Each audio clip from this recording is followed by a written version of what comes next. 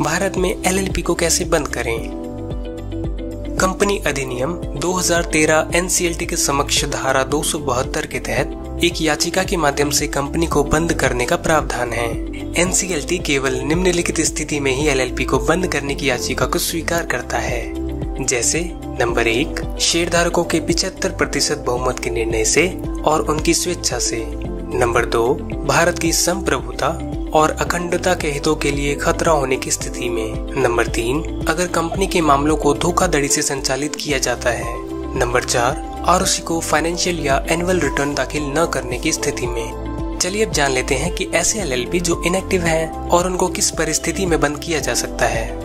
Number एक, यदि आपके एलएलपी ने कोई व्यवसाय का संचालन शुरू ही नहीं किया है या यदि शुरू हुआ है तो पिछले एक साल से अब तक नहीं चला है। नंबर दो, यदि एलएलपी की कोई संपत्ति या देनदारी बाकी नहीं हो और एलएलपी का बैंक अकाउंट या तो खोला ही नहीं गया था या खोला गया हो जो अब बंद कर दिया गया हो।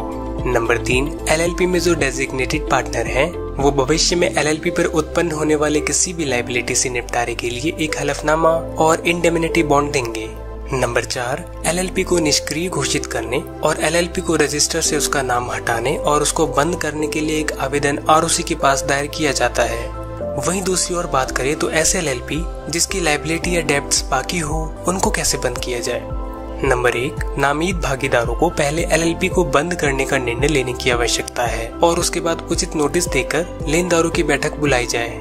नंबर दो, लेनदारों को कम से कम दो या तीन बहुमत के साथ एलएलपी को बंद करने और एनसीएलटी के साथ बंद करने के लिए एक आवेदन दायर करने का निर्णय लेना होगा। नंबर तीन एलएलपी का आधिकारिक परिमापक यानी लिक्विडेटर नियुक्त किया जाएगा, जो एलएलपी की संपत्ति को डिसॉल्व करेगा और देनदारियों से निपटेगा और एनसीएलटी के साथ अपनी रिपोर्ट दर्ज करेगा। नंबर चार मामले के गुण दोष के आधार पर एनसीएलटी एलएलपी को बंद करने के लिए अपना फैसला सुनाएगा, और उसके बाद आरओसी को इसकी जानकारी देनी होगी। चलिए अब जान लेते हैं कि एनसीएलटी के माध्यम से किस परिस्थिति में एलएलपी को बंद किया जा सकता है। नंबर एक, यदि डेजिग्नेटेड पार्टनर अपने अंतर के कारण एलएलपी को बंद नहीं कर सकते हैं, एनसीएलटी के द्वारा बंद करने के लिए एक आवेदन दायर किया जा सकता है। नंबर दो जहाँ भागीदारों की संख्या छह महीने से अधिक की अवधि के लिए सांविधिक न्यूनतम दो भागीदारों से कम हो जाती है। नंबर तीन, अगर एनसीएलटी संतुष्ट है कि एलएलपी भारत की संप्रभुता या अखंडता, राज्य की सुरक्षा या सार्वजनिक व्यवस्था के हितों के खिलाफ तो काम नहीं कर रहा है।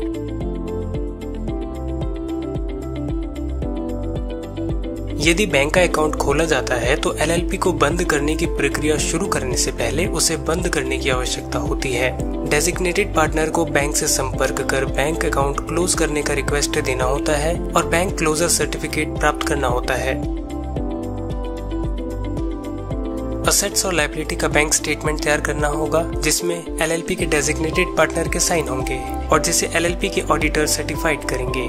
और यदि एलएलपी में कोई ऑडिटर अपॉइंट नहीं किया है तो किसी प्रैक्टिस चार्टेड अकाउंटेंट से इसे सर्टिफाइड करवाना होगा। एक बार जब एलएलपी का बैंक खाता बंद हो जाता है और संपत्ति या देनदारियों का विवरण लेखा परीक्षक या किसी अन्य सीए द्वारा तैयार और सत्यापित किया जाता है तो पार्टनरों को एलएलपी को बंद करने पर मिलने और निर्णय लेने की आवश्यकता होती है। बंद करने का निर्णय एलएलपी समझौते में निर्धारित अनुसार किया जाना चाहिए।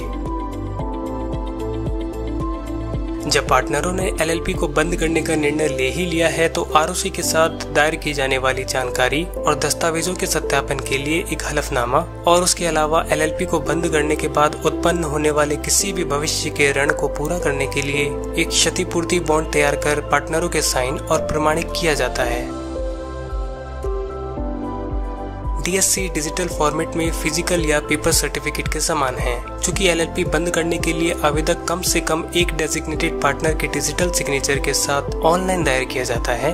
पार्टनर के लिए क्लास टू डिजिटल सिग्नेचर प्राप्त करने के लिए फॉर्म के साथ एक फ़ोटो आईडी की कॉपी और राजपत्रित अधिकारी द्वारा विधिवत सत्यापित एड्रेस प्रूफ जमा करना होता है। अंत में एलएलपी को बंद करने के लिए एक आवेदन आवश्यक संकलन के साथ दायर किया जाता है। जिस पर डेजिग्नेटेड पार्टनर और चार्टेड अकाउंटेंट या एक कंपनी सेक्रेटरी या कॉस्ट अकाउंटेंट द्वारा विधिवत हस्ताक्षरित और सत्यापित किया गया हो।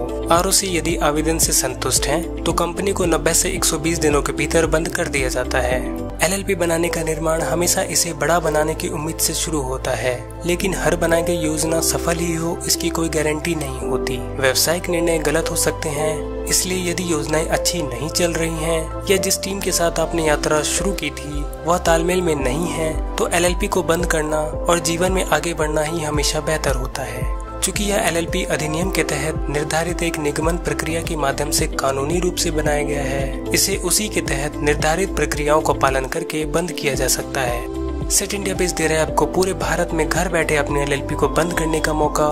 एलएलपी को बंद करने और एलएलपी से संबंधित और अधिक जानकारी के लिए हमें कॉल करें nine eight nine nine six zero zero six zero five पर या हमारी वेबसाइट पर विज़िट करें W W W dot set India dot com पर।